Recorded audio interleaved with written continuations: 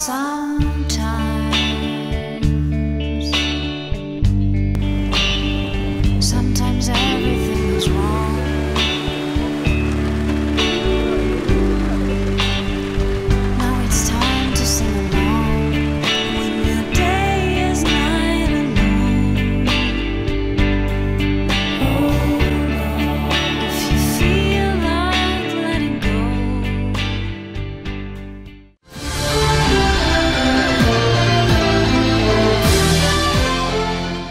Uma caminhonete Saveiro usada por criminosos para o roubo de carga de cigarros na quinta-feira, 23 de março, no interior de Sentinela do Sul, circulava na região há algum tempo com placas falsas e sem levantar suspeitas. O veículo usado na ação tinha placas ITY 9324 e tarde de Camaquã, possivelmente clonada de um outro veículo também do município. Mas, segundo informações da Polícia Civil, após a Brigada Militar recuperar o veículo e a carga de cigarros roubada, a numeração do chassi foi consultada e a fraude foi descoberta.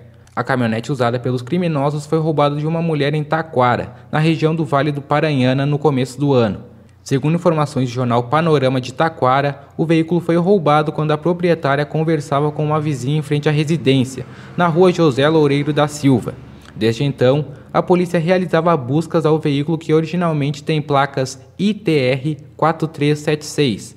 Agora, a Polícia Civil segue investigando o caso e tenta identificar os suspeitos do crime.